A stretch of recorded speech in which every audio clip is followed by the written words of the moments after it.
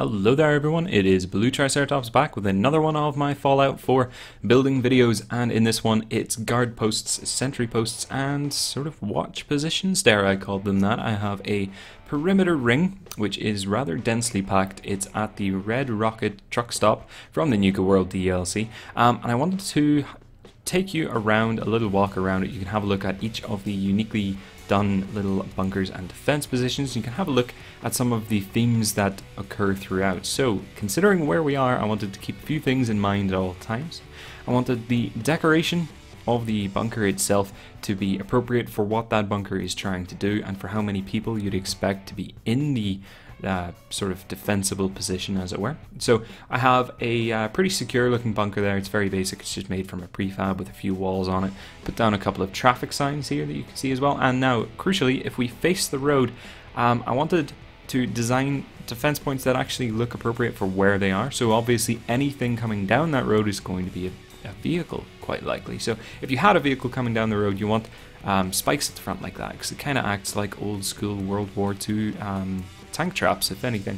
Um, I've put a couple of cars down because I'm into the peripheral decoration for the place. I wanted to have some stuff around that adds to the theme of it, and this is a truck stop, so there would have been traffic traveling along that road and around, and it actually allows me to incorporate cars into the defense points themselves, um, just to carry on the theme. So I wanted to have uh, decoration regarding weapons, food, first aid kits, ammunition, and potentially fuel, as well as making use of the old vehicles that were in place. So I have one of the largest points here um, you can see is an old bus. So the bus is slightly sank down into the ground. It's actually placed right on the corner of the um, sort of turning circle of where the road actually is. So I have a couple of cars worked into it as well. Plenty of old tires, which you can imagine would very easily have been available here.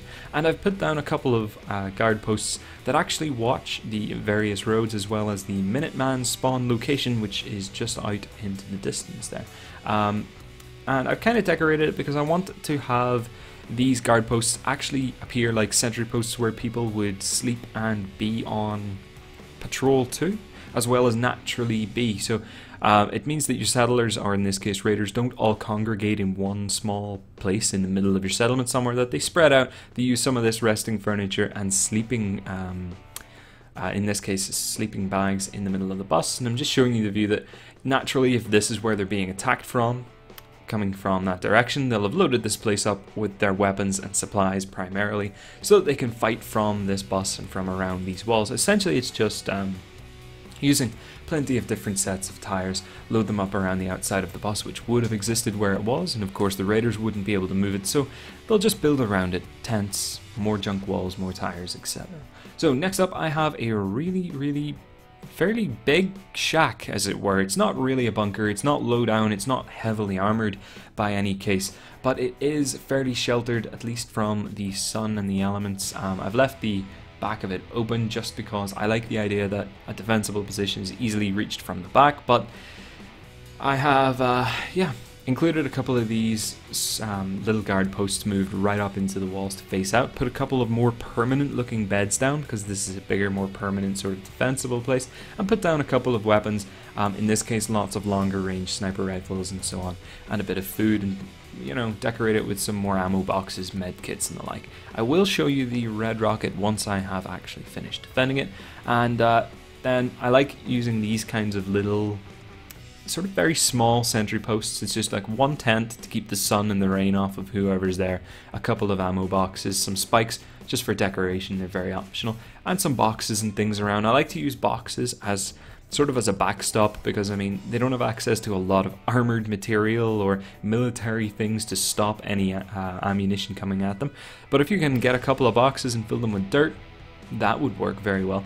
Um, you can see here I've put a couple of end caps down onto some floor foundations and then covered it up with some roofs, adding more pillars down. Use a mix of different pillars so that it doesn't look too um, too factory made and too prefabby. And then you take a couple of extra wall segments, glitch them down on the outside so it looks like they have actually resorted to just adding layer upon layer of extra wood on the outside in order to fortify it. And of course, some more weapons and ammo boxes and barrels for warmth, because if someone's standing on sentry duty, especially in the middle of the night, they're going to want a little campfire or barrel or at least lanterns or something to be able to work with. So um, hopefully you have uh, been inspired to try out a couple of variations of some of these things. Maybe have a look at um, when you are building defenses, what sort of things you would have, how you can incorporate ramshackled furniture, barrels, boxes, etc., to add to the uh, thickness of your defenses in a very cheap and easy way.